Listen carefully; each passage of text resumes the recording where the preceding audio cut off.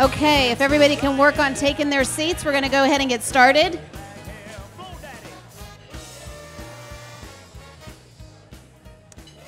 At this time, I'd like to introduce all of our elected officials. So if you're an elected official, can you please stand and introduce yourself? Start with. Sure, I am Jamie Clary, I'm mayor of this exceptional city of Hendersonville. Okay, yay.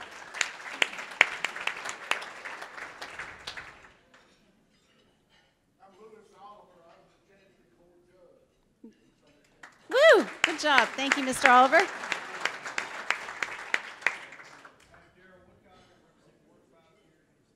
Wonderful. Thank you, Daryl. Please give a round of applause for all of our board members. If you're a chamber board member or an, um, uh, a foundation board member, will you please stand at this time so we can recognize you? Yay.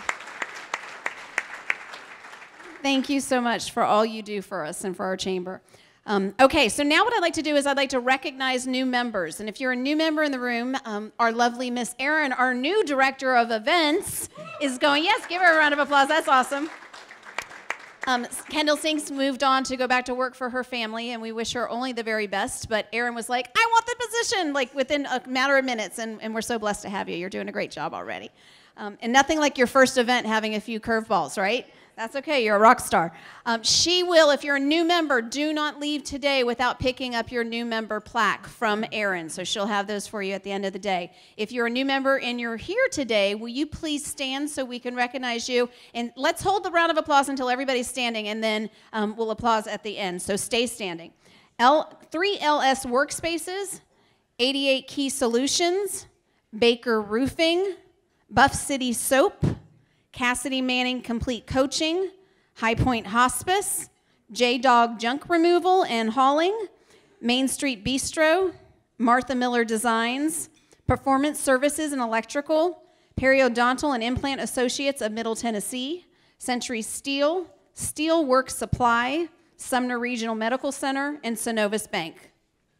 Yay, give them a big round of applause.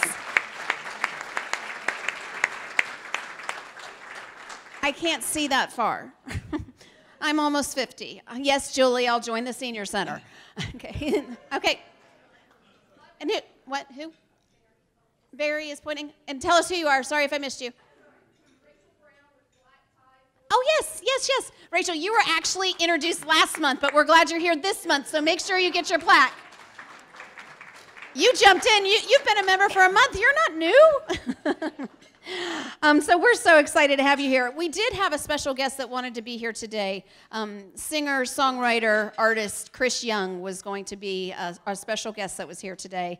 And he called, actually, his mother called this morning and said that he is helping friends in East Nashville. So he's not going to be able to be here. He um, is, is seizing the opportunity to support people that he loves, and, and we embrace that and bless him. So um, hopefully, the next time you hear, I, hear me say, there is a special guest coming today, you'll don't tell anybody else, but you'll know who I'm talking about because he'll be back between now and, and May. He has assured us.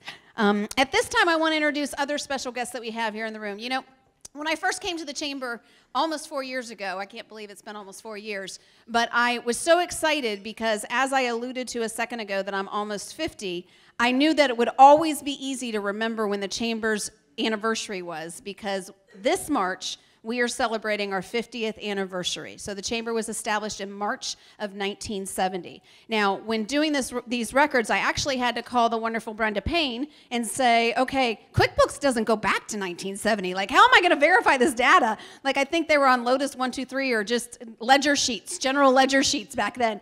Um, so we're recognizing businesses that have been consecutive businesses for 50 or 30 or more consecutive years in a row. Now, that doesn't mean that we don't have great businesses like Brown's Florist, who just celebrated their golden anniversary. Um, and we have, um, let's see, Baskin Robbins was a member like 40 years ago, which is fantastic.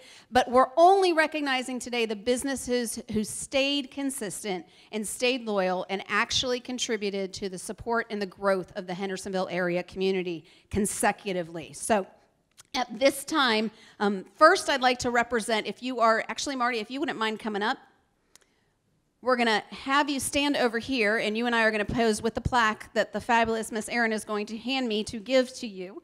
Um, and if when I call your name, if you can come up. Now, I'm not sure if this first person is here today, but I also had to do some research on this company. Strike and Spare Family Fun Center has been a member since June 1st, 1989.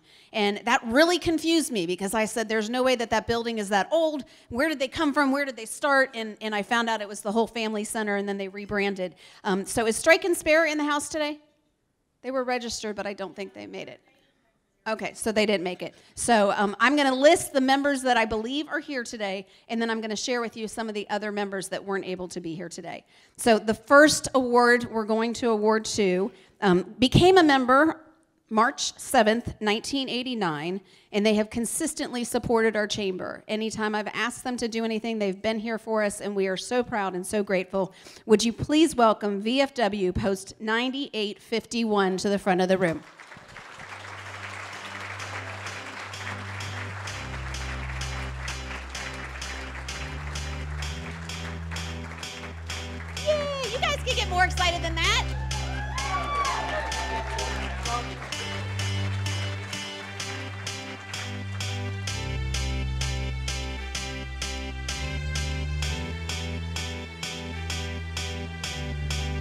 Okay, now what you'll see you have there, Dave, is you have two plaques. You have one that says how long you've been a member, and then we're giving you a new plaque starting for 2020, 2021 that we hope that you fill up. Um, because when I went to Hendersonville Utility, your plaque gave me OCD. It really stressed me out. He had stickers everywhere, and it was really old, and I was like, we've got it, we've got to update that. So you will get, you will have two plaques, and then hopefully you'll get to three, and then to four, and, and so on. Okay, the next member that I'd like to introduce to the front of the room is actually has an individual representing them today that is going to be a future board member of the Hendersonville Chamber. And she is with U.S. Bank. Um, they became members June 1st, 1986. Jennifer, can you please come on up?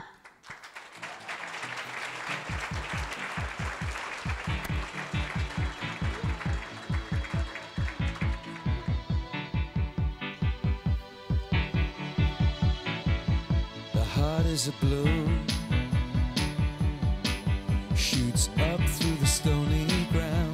Thank you. Okay, and then this next company helps us out every single time we throw an event and we need assistance and we need services. They became members on June 1st, 1985. Would you put your hands together for Liberty Party Rental? Come on up. I know you're here. I, I knew you were here. Hey,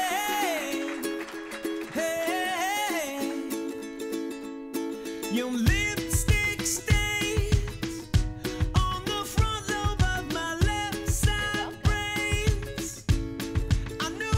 Okay, and none other than the place that hosts our fabulous events every time we have to host a fabulous event. Todd, don't go too far. You're next. Okay.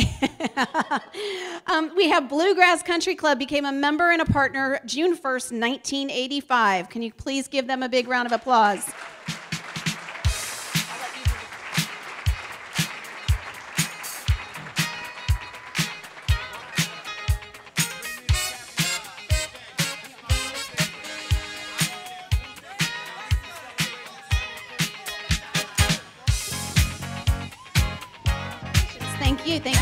Support. The next company became a member June 1st, 1984, and has consistently stayed a member. We visit them probably once or twice a week because they're one of our main banks. Would you please welcome to the front of the room Volunteer State Bank?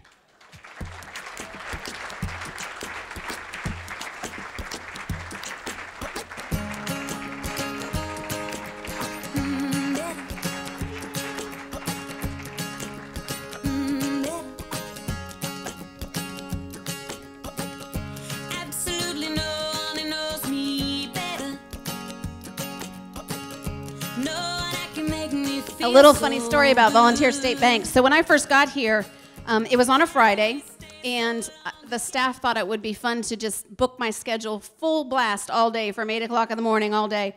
And my first meal was actually lunch at Volunteer State Bank because I walked in and I was like, can I please have some of that popcorn? so thank you for my first meal in Hendersonville. Okay, the next company that I'd like to introduce to the front of the room is also one of our partners, our Circle of Excellent partner, Park Place Retirement Community became a member on June 1st, 1984. Please welcome them to the front.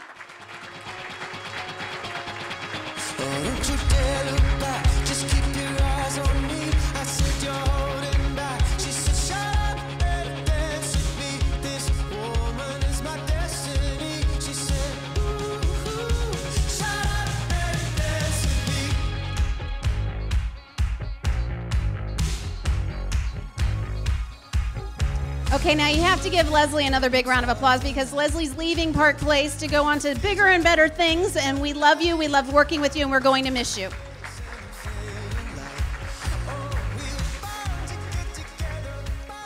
Okay, so now the next person that I want to introduce, I can tell you they became members on June 1st, 1984. And what I love about this company is every time I put out our member tree ornament that we want to do, where we want to promote different members, they're always one of the first people to show up at our doorstep with an or- ornament. Um, they support us anytime we needed when Gatlinburg, and we did our silent auction for the Gatlinburg. They donated something for that auction, and um, they're just true community givers. And you know, a lot of businesses say to me, Kathleen, I'm, my business is successful. Why do I need to be part of the chamber?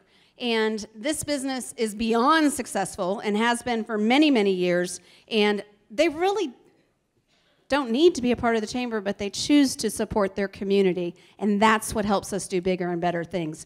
Please welcome to the stage at this time Duane Allen with the Oak Ridge Boys.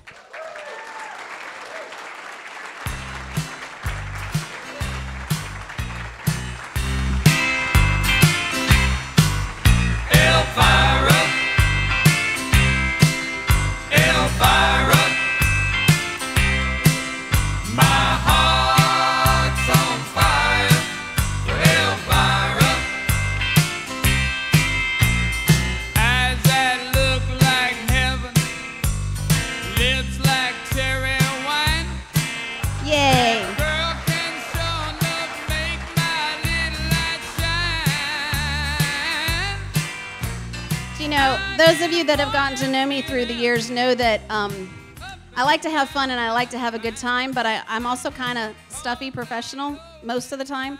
And um, acting wild and crazy and putting on costumes is really not my thing.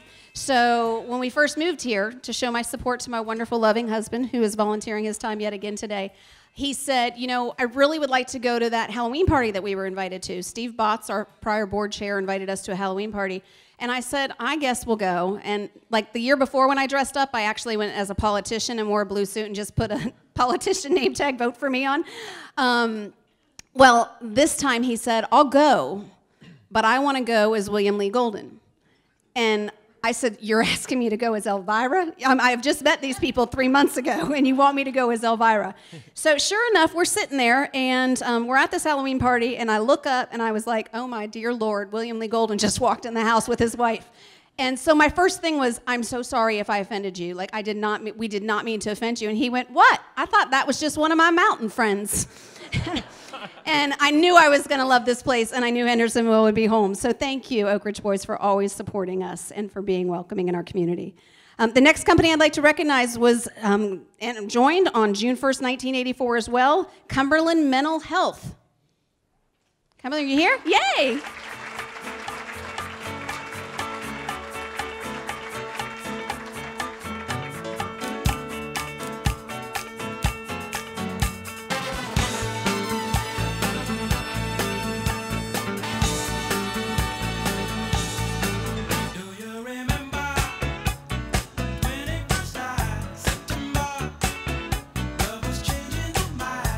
You for all you do to support our community and to keep everyone mentally sound as much as you possibly can. Um, AT&T was here earlier. We did present her with her plaque. They have been members since June 1st of 1984 as well. Unfortunately, Kathy apologizes, but she had to leave because she was called downtown to help with the help with the recovery. Um, now, next, I want to introduce someone that I heard him speak probably for the first time at TriStar Medical Center's 40th anniversary. That's probably the first time I really got to hear him speak. And when I discovered how much of an impact and an influence this person has been on our community, it, it was astounding. And so I'm so glad when I saw your name pop up on the registration list, I'm so glad to, to see you and, and, and that you're here today. Um, I met, I believe it was your daughter, Gracie Oliver. Is that your daughter? Sister, sister. Okay, I met I met Gracie for the first time two weeks after I arrived here because I needed a place to hold an event, and I had just met. Um, I, just met them, and I was like, "Can we use your house?" And for them to open up their house and let us hold a women's event there, she had no clue who I was, and they were like, "Sure."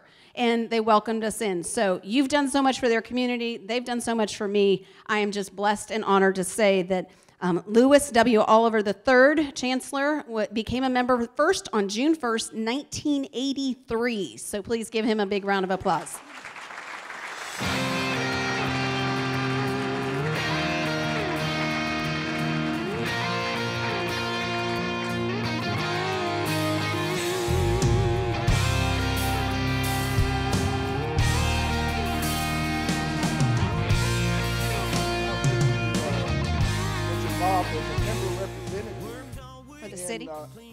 City of Hendersonville uh, in 1973.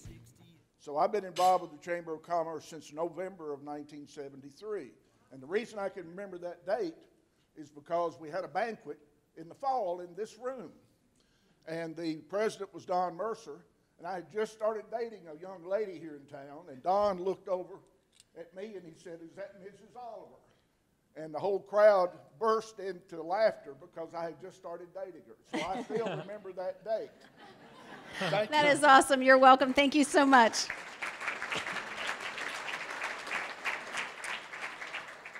On June 1st, 1983, we had the pleasure of adding a new member from Coldwell Bankers Lakeside Realty. So it was Coldwell Bankers in the house. Yes, you are. Yay.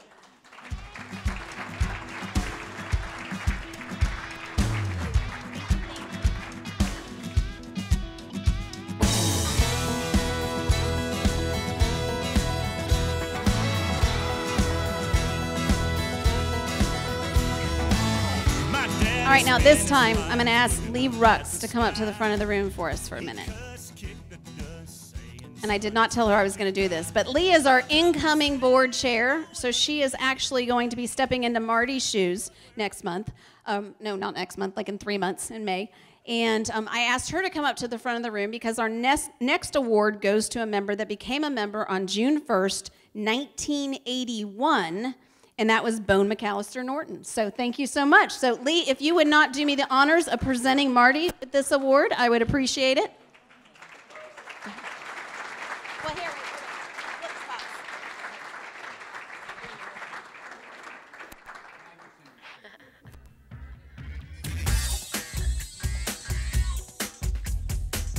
Thank you.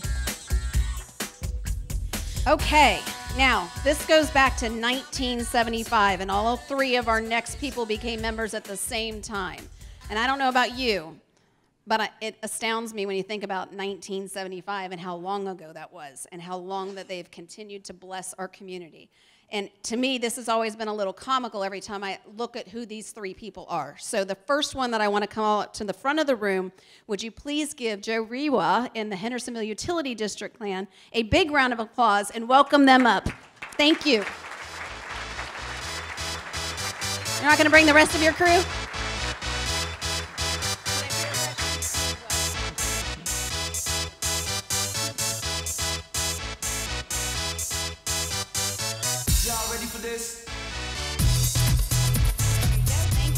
Does that make you feel less OCD? A little better, a little more classy? Okay, good. I'm excited. All right, so the next person that I want to call up to the front of the room has also been a big supporter. They volunteer whenever they can. They send us people to volunteer whenever they can, and they're just amazing. And when he got his, when he heard word of this, he was like, "Am I really? Have we really been members that long?" And I said, "Yes." And he was like, "I'll make a point to be there. Would you please welcome Mr. Carter from Hendersonville High School up to the stage?"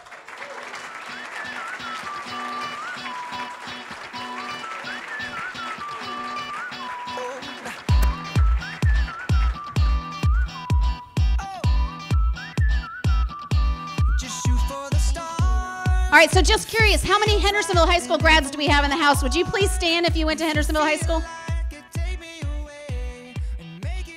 Woo! Good job. Good job. All right, now only purely for alphabetical reasons, the first person that is on this list that is the longest standing member um, of the Hendersonville Area Chamber of Commerce, also joined on June 1st, 1975. So when people had um, homes, which means they needed water, and they had kids in high school, so they needed schooling, then apparently they also needed liquor because Center Pointe Liquors is our longest standing member. So can we please welcome them to the front of the room?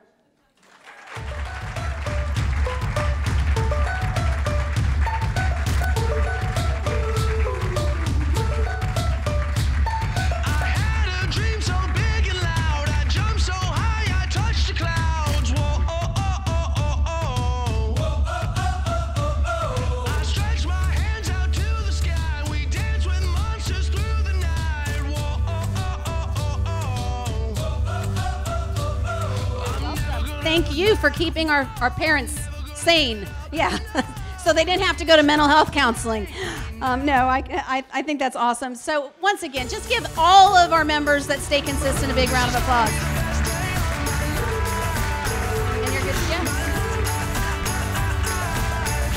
go. Okay, so just to not leave anybody out, you'll see in your programs, W.E. Shawn Associates became members in 1990. Chrysler Sleep PA in 1990, Rogers Group in 1989, ASA Printing in 1988, Just for Teeth Kids in 1994, Jennings and Klaus in 1994, Fox Pools in 1983, Bone McAllister or Bone Baylor Bone Interiors in 1983, TriStar Hendersonville Medical Center. We gave them the award the other night. They became members in 1977, and then Cumberland Electric 1975. So consistency, supporting your community really does make a difference. We're going to be recognizing people every five years um, for their longevity and for their continued c- commitment in the good times and the bad. Because you know what? You don't wait till there's a recession to start getting out and networking and meeting people and helping your community. You don't wait till there's a tragedy. You do it all the time because what you put into the lives of others will always come back to you. And that is a fact. And, and that's what this is about, is embracing and supporting and growing our city together.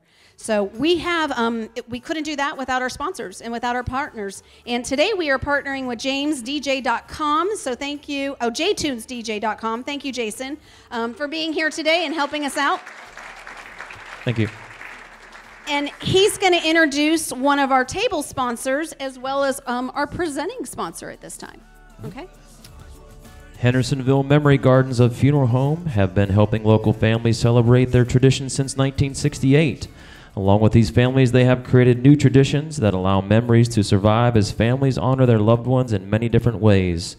One favorite tradition has been the Easter sunrise service. Please join your family and neighborhoods for this meaningful event on Sunday, April 12th, 2020, from 6 to 8 a.m. For more information, please visit the table on this side. Now, please welcome to the podium our presenting sponsor, Dr. Charles Lee from Welch College.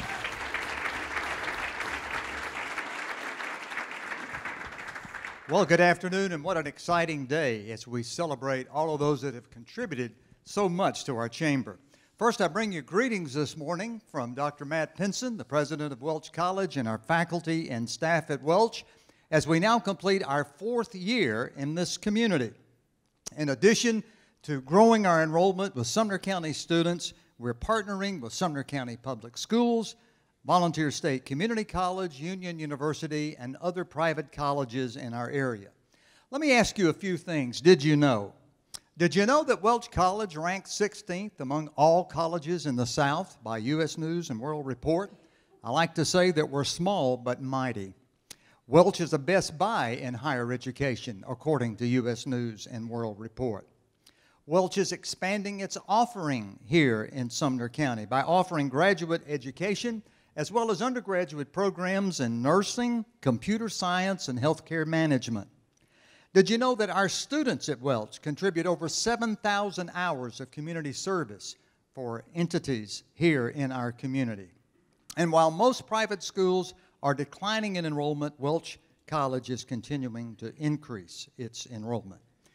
Did you know that Welch College participates in both the Tennessee Promise and the Tennessee Reconnect Scholarship, making a quality Christian higher education accessible to everyone here in Sumner County, both traditional undergraduates as well as adult students? And finally, did you know that Welch College goes beyond intellectual development and what we teach our students. I think the Apostle Paul said it best when he said these things, and this is what we teach our students at Welch. He said, Keep your minds on whatever is true, what is pure, what is right, what is holy, what is friendly, and what is proper. And don't ever stop thinking about what is truly worthwhile and worthy of praise. It is this value added, which I believe our society and our world needs today, that makes Welch College graduates stand out in whatever career they decide to enter. On May the 11th, the college will be holding its third Strong and Courageous banquet on our campus. And the purpose of that is twofold to celebrate Christian faith here in Sumner County and to raise money for scholarship support of worthy Sumner County students who want to attend Welch. It's a night full of music, inspirational messages, and drama, and I invite you to be a part of that. I also want to take just a moment to thank those member chamber organizations that have already partnered with us for the event this coming year. Here are some of our event sponsors Sumner Regional Medical Center, First Bank of Sumner County, Wilson Bank and Trust, Bone McAllister Norton LLC, Olympian Construction, Main Street Media, David and Diane Black. New this year, the Goddard School, NHC Sumner Place, and Sellers Funeral Home. In addition to these sponsors, table sponsors include Christian Brothers Automotive, Christ is Love Church, Curtis Builders LLC, ServPro Sumner County, Hendersonville Medical Center, Coker Wolf and Associates, Emmanuel Free Will Baptist Church, and Goodall Homes. It's still not too late for you to be a part of this event. There's information on your table as well as on our sponsorship table up here. And finally, as I close today, I remember also well what happened in this community on April the 7th, 2006. That's when a tornado hit Sumner County. I remember it so well because I was at Volunteer State Community College, Jerry, at the time. Uh, and my secretary came and shook me and she said, We have to get to our safe place right now. And luckily, I knew where the old vault was, where the lead lined walls still were. And we crouched down there, we knelt, and we prayed.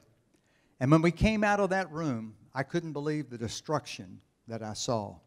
And I can't help but think today that there are thousands of people in Middle Tennessee that are having those same types of experiences. We were blessed at Volunteer State. No one lost their life that day, no one was seriously injured. That's not the case today. So, as we continue, not only today, but throughout the week, let's continue to lift up in prayer those individuals, those businesses, and those people that need our help and assistance the most right now. Thank you so much. It's a great honor for Welch College to be a part of the Hendersonville Chamber of College, uh, Chamber of Commerce.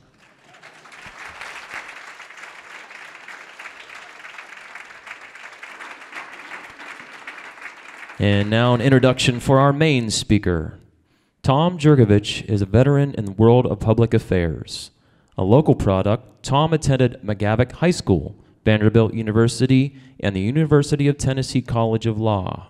He started his career practicing law, before later enter, venturing to Washington, D.C., where he served as staff director for the U.S. House of Representatives Administration Committee spent time as a senior official with the U.S. Department of Commerce, and then moved to the Government Affairs Office of Microsoft Corporation. He returned to Nashville in early 2002 and spent six years heading Mayor Bill Purcell's Office of Economic and Community Development.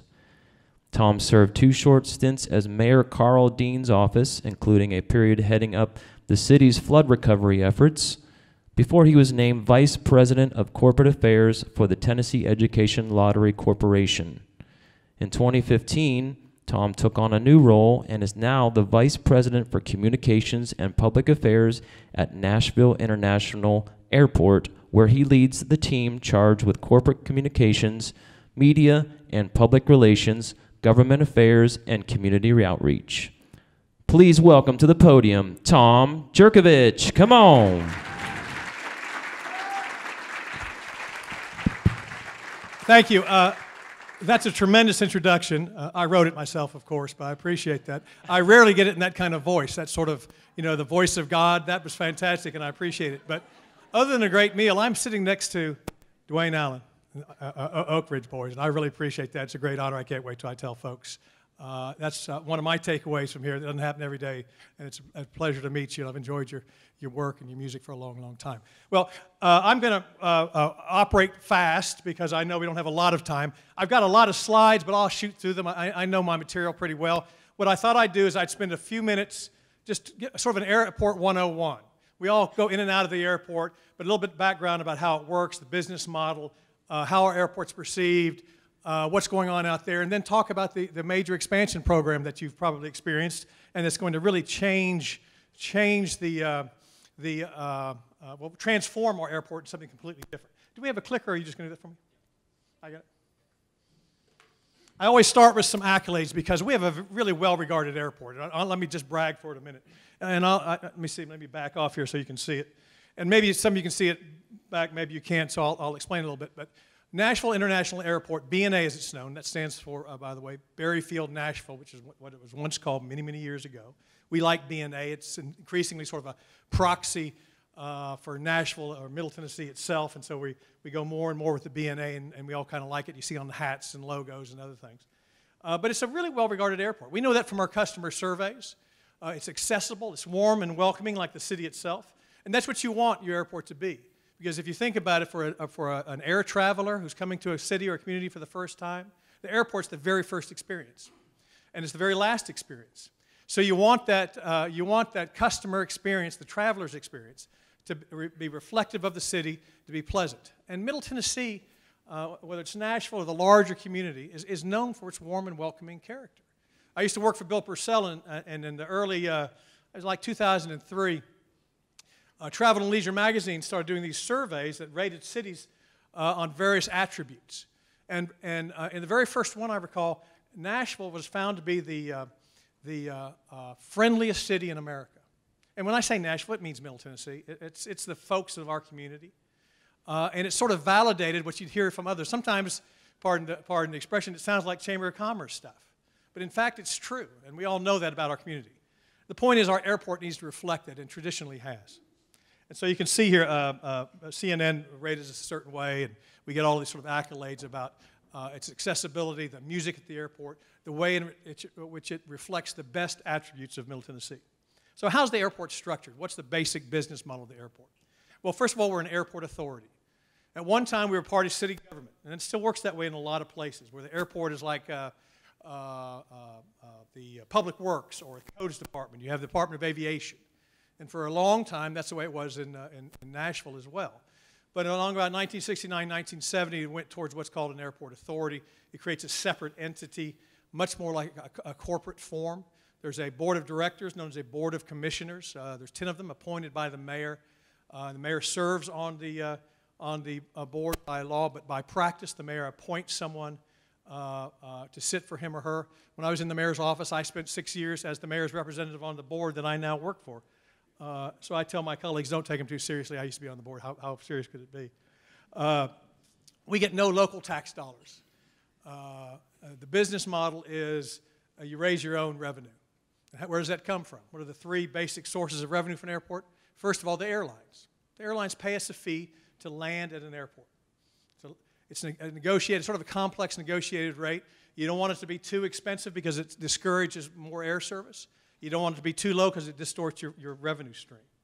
Airports also pay us uh, uh, uh, to rent the, the, the, ticket counters, and they pay us to park their planes there.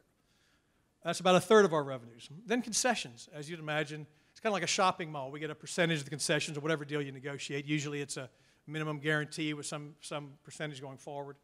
Uh, and, then, and that also includes rental cars. And then parking. Parking is a, a traditional and significant uh, portion of an airport's revenue model. So these three uh, revenue sources uh, will raise us at BNA about $160 million this year. We get a little bit of uh, federal grants for uh, paving runways and maintaining runways, which is very expensive. Uh, we get a little bit of uh, some state grants for some similar capital improvement projects, but operationally, 100% of our money comes from these three revenue sources. Again, no local tax dollars.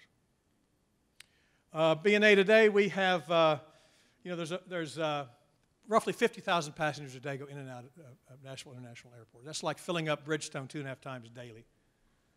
We have uh, a close to 900,000 foot uh, terminal. That's going to change, expand. We currently have 43 gates. That's not enough, and I'll show you why.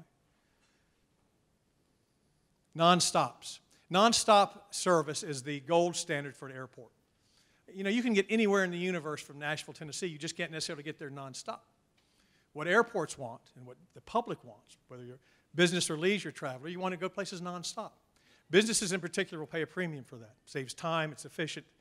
Uh, and so what your non-stop map looks like says a lot about uh, the, uh, the uh, efficiency and breadth and reach of an airport. You probably can't see it from here, but we have a really good non-stop map. It's changed a lot in the last five or six years. And by change, I mean we've gotten more and more non-stops. In addition to going to uh, a new city, having multiple flights to the same city is a real advantage because why? It drives fares down.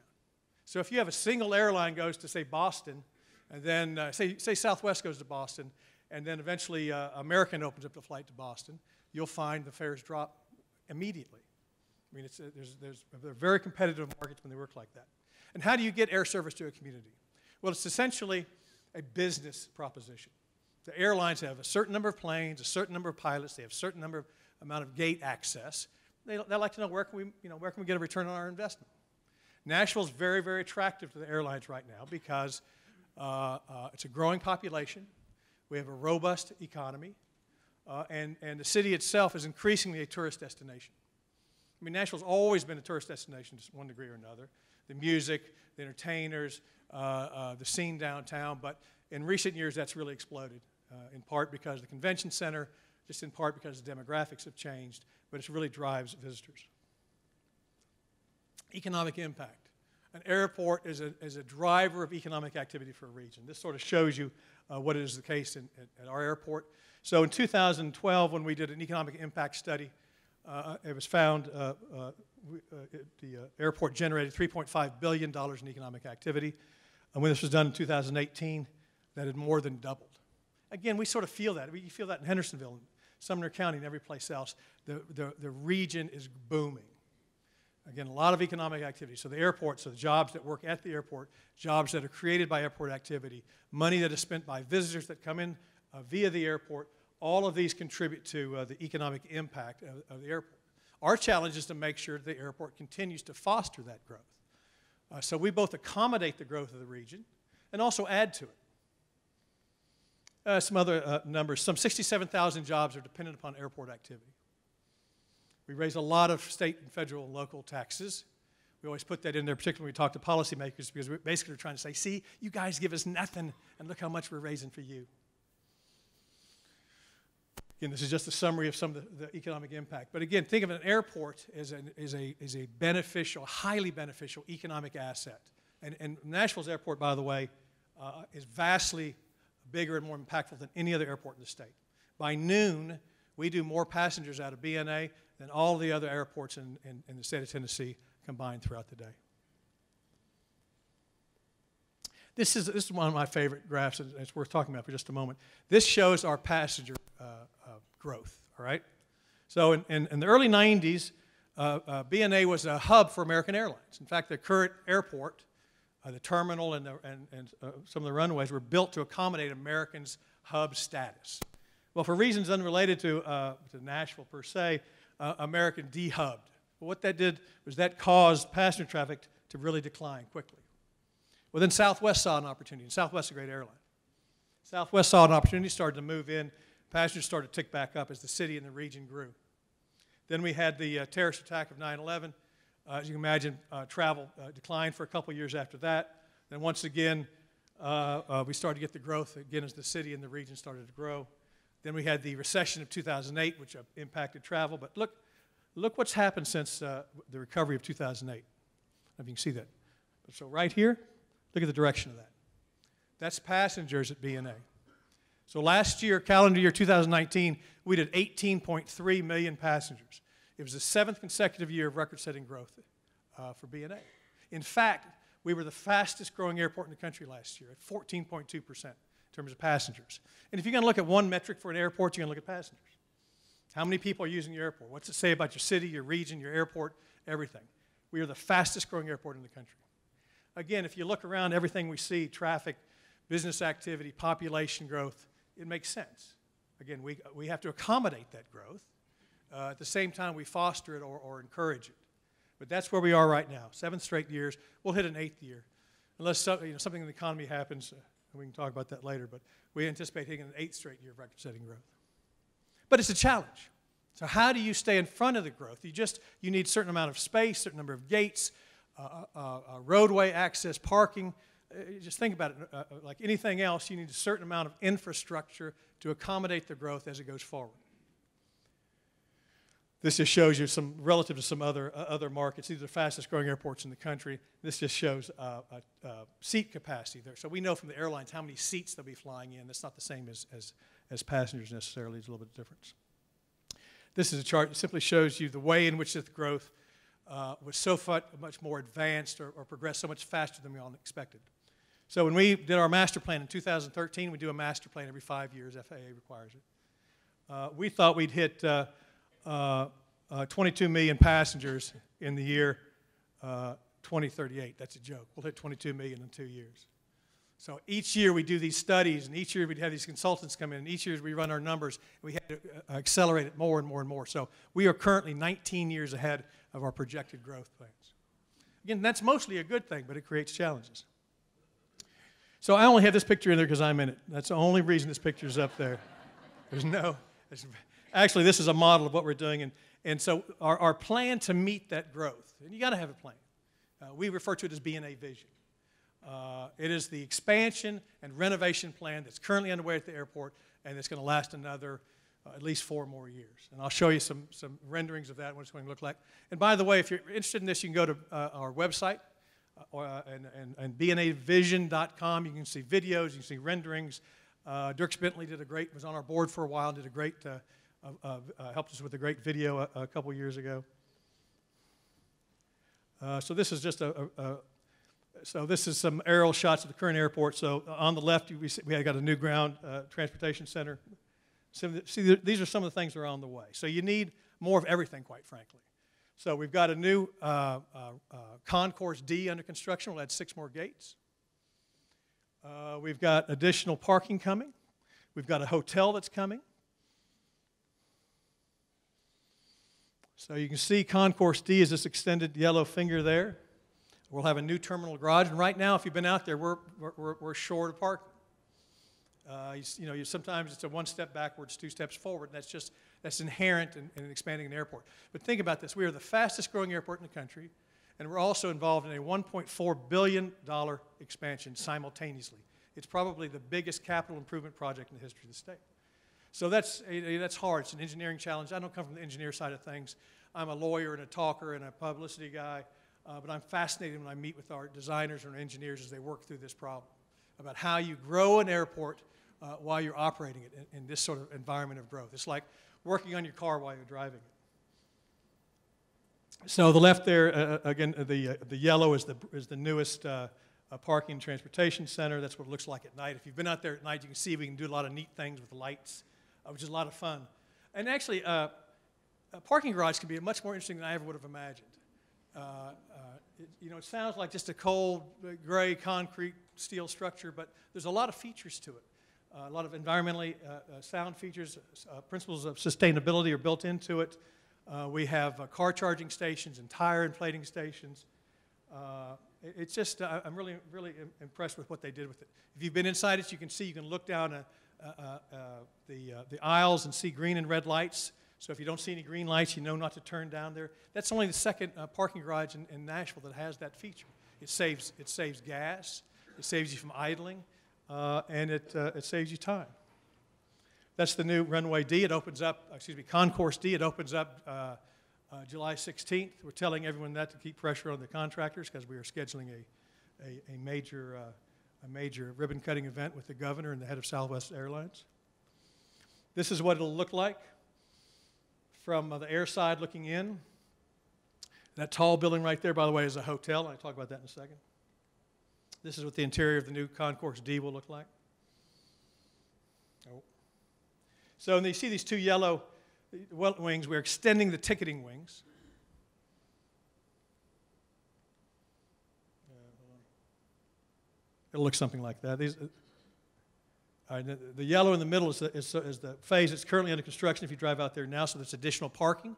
The administrative offices will move there. My office is currently in the terminal right above uh, the security lines. If you've ever, when you go through security next time, look above, do it the next year. Uh, you will see windows, and that's where uh, the, uh, the airport authority offices are located. It's a great sight, though. I look all I look down and see people go through security all the time, and I see celebrities and friends. And one time I saw Peyton Manning going through, and I, my first thought was, "What's he doing flying commercial?" Uh, my second thought was I almost started pounding on the on the on the window glass, and I went, "Wait, he doesn't know me. Wait, why you know?" You know He'd send a cop up to get me or something. I started pounding on him just to wave to him. But anyway, you see, you see, uh, you see all sorts of folks going through security. Uh, this is what our new administrative offices will look like. It's just going across the pickup road. All right, so this is what the central area will look like. There'll be a plaza. On the left is a hotel. The RFP is, uh, is going out for that. We don't have a flag or an operator for it yet. It's down to two, I think. It'll be uh, uh, uh, an upscale hotel with meeting space and nice restaurants. The center part, the plaza, will also accommodate light rail if the city goes that direction.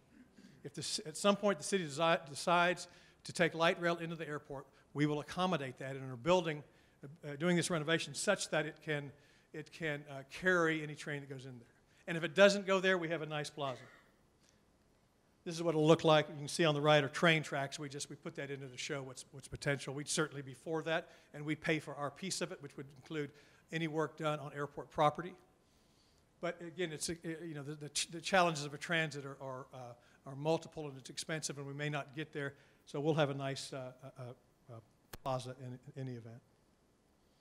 So then the last thing to be done is uh, we tear down the central uh, lobby, which you all know right now. And for about two years, maybe longer, we'll actually operate sort of two uh, mini airports. So that yellow part right now is what it'll look like, but it's all coming down starting uh, December or January. It starts to get torn down. We'll move across to our new offices, uh, and there are these new ticketing wings, so it'll be, uh, let me show you, just so you know, because it's going to be a big difference for a while. So this is concourse D and C, concourse A and B. And so you'll operate there and there, and the center area is going to be under construction. And we take a lot of pride in, uh, in our accessibility of our airport, this welcoming, uh, you know, the welcoming attitude and the vibe and the feel and the warmth of Nashville International Airport. But that's going to be a challenge. I, I like to get out and tell people that's going to be a challenge. But we're committed to doing it. Whether it's wayfinding, whether it's more folks out there directing people, whether it's uh, making work, we have to do it. Once it's done, this is what it's going to look like. That's a walkway. That's the hotel. The terminal's on your right.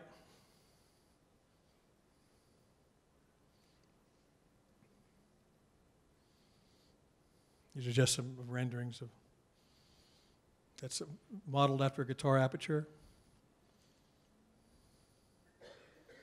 Uh, I should talk a little bit something about our concessions model. So we'll, when this is finished, uh, there'll be a market, a large market area. It's going to be much more open. The ceilings are much higher, much more open area. As you walk in, you will be able to see to the other side, uh, which is going to be extended out another 165 feet. And in the center will be a marketplace uh, for shopping and restaurants and other things. And we are converting our concessions program. Historically, uh, we've had what's called a master concessions model, much like a, an arena. And most airports, not all, but most have a similar model. You have a, you have a, a, a, a master concessionaire or two, and they lic- do licensing deals with local retail and restaurant establishments. So it might say Nashville or it might say uh, uh, Swett's, but it's really not. They just get a licensing deal, try to replicate the vibe, and the master concessionaire runs it. The new model we're going to is called a developer model. The new model requires that the actual uh, the restaurant is actually operated by the owner. I mean, they can do joint ventures and do some deals because there's some challenges operating an airport, but it'll be more, much more of a local owned and operated concessions experience at the airport. Why to do that? Well, one, we wanted uh, better to reflect the Nashville's culinary scene, which has really exploded here in the last 10 years. We wanted a better feel of all the cool things that are going on in, our, in the national scene. And we thought the best way to do that was not through a master concessionaire, but through the individual operators. And that it would infuse competition as well as pride in the brand uh, and give a better reflection of what the city's all about. And we're excited about that. It takes a while to, to, to roll it in and make it happen, uh, but eventually that's what it's going to be, and we think it's going to be, uh, you know, the, uh, the concessions experience will be one of the best in the country for an airport. Oh, and also I'll say this, and we'll see how it works out. We're committed to what's called street pricing. It's going to take a while to get into it. Street pricing is kind of what it sounds like. So if you pay uh, $4.50 for a burger at, at, uh, at uh, Burger Up in, in East Nashville, I should mention it, it was just hit by the tornado, but it's on my mind. And we have a Burger Up in, at the airport, that burger is going to cost $4.50. All right? You know, you don't want to pay $8 for a bottle of water. I mean, it gives you a bad experience. It's, it's a bad feel. It's a, you know, you spend less money. Uh, the Atlanta Falcons did this with their football stadium, and, and, and sales exploded. So there's some reason to think that this will work. Uh, we're committed to giving it a try. Most airports, you know, we all know it's, uh, it's uh, uh, street plus 20% or something. Uh, and so we're going to see how that works. It's going to take a while to phase that in and fold it in, but eventually, in the back end of this, it's going to be a few years. We're committed to a street pricing model, and I hope it hope it works. And I think folks, I think folks will have a better feel for our airport. Uh, this is what it looks like on the air side, looking in uh, to the back end. There's a swoopy roof uh, canopy that that uh, will be on top of the, the terminal lobby. Uh, this is, we'll have a new international arrivals facility. One of the big growth areas we expect for the airport is international travel. You know, we started nonstop service to uh, London about a year and a half ago on British Airways. Everyone says, all our studies, our consultants, our, you know, our meetings with airlines say international travel is going to be a growth area for Nashville Middle Tennessee. So we have to accommodate that. You need different facilities uh, for international travel, your, your customs. Uh, uh, and so we've got to build that, but this is what it'll look like. This is just some of the costs. It's expensive. Eventually, we're going to have to, uh, uh, Concourse A is going to have to be expanded because at the rate we're going, once we finish this in 2023, we may have to turn around and expand Concourse A and add another 10 gates there. And these are, you know, you, know, you want to be in, you want to be in a growth and ascendant path, but uh, growth has challenges. We were talking about this at the table earlier. There are challenges to growth, cost, inconvenience, uh, a number of other things, but we're committed to accommodating that growth. This just shows you number of how international travel has increased out of Nashville. This, uh, we we're going to have to increase uh, one of our runways to get to Asia consistently. Here's what we always talk to. Th- This slide is actually for, uh, for uh, elected officials. They always say, how can we help? We go, you know, it's hard to fund this. we got to figure out a funding model. But we're committed to it. Uh, we think we've got a great airport now. Historically, we have. We want to keep it that way. Uh, uh, what I tell my staff is, look, here's what I envision. Uh, someone comes to Nashville for the first time, maybe it's a businesswoman on a trip or a conference to Nashville. She gets home, and her husband says, "What was Nashville, Tennessee like? Music City?" And she goes, "Nashville was great. I really liked it, but that airport, that was special." So that's what we look at. Everybody, we're all in our own little silos. That's what we talk about. We want our airport to be special. We want to say Nashville, the home of BNA. Thanks for having me. I'm happy to answer any questions if you got a minute or.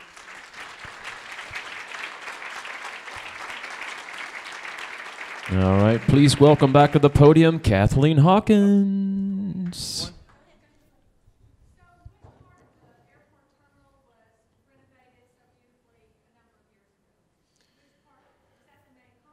Yes, the, ma- the- main terminal was, uh, the interior was renovated, but it wasn't expanded.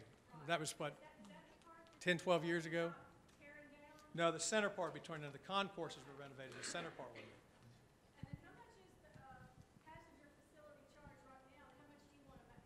Uh, Pat, oh, that's a good question. That- That's a, that's a great question. Let me make this final point because this is the single most important issue to the, air, the airport industry, and that includes BNA. Most of this is funded by what's called a passenger facility charge. So every time you fly out, uh, it gets uh, there's a four dollars and fifty cent charge on your ticket. It's a federal program. It's kept locally. Uh, it's a user fee for, for capital improvement projects locally. If you don't use the airport, you don't pay it. If you don't fly, you don't pay it. Uh, uh, the problem is it hasn't changed in 20 years. It's been stuck at $4.50 for 20 years. The airlines oppose it. They don't want to increase it. We need it to help fund all this stuff. Otherwise, we've got to figure out how to pay for it, charge more for parking, I guess, or more for food. Uh, and so, you know, what, any increase at all would be welcome. We'd like to see it indexed to inflation. so we don't have to keep begging Congress to please uh, inch that up. But passenger facility charge is a user fee on, on uh, uh, tickets that stay in the airport where it was incurred. You, can- you can kick that on your passenger facility charge. Thank you all very much. And Tom has some, you have some brochures right outside on the front table. So if you want to even make your way there, if anybody else has any other questions, if you have a few minutes, he might be willing to answer those questions for you. Um, at this time, I want to call um, Welch College to the front and Hendersonville Memorial um, Gardens over there to their table, Family Lev- Legacy table. And then um, Melissa Baker, if you could work your way out to that outside table. I'm going to give away three prizes real quick. One's from Brown's Florist, or four prizes actually. One's from Brown's Florist, one's from Actors Point Theater. Memory Gardens has a prize, and Welch College has a prize. So, real quick. Not looking, sorry. Okay. Well, I guess the first one was going to be Brown's Florist, but it is Rip Beasley. So now it's going to be Actors Point Theater gets Rick Beasley's prize, okay?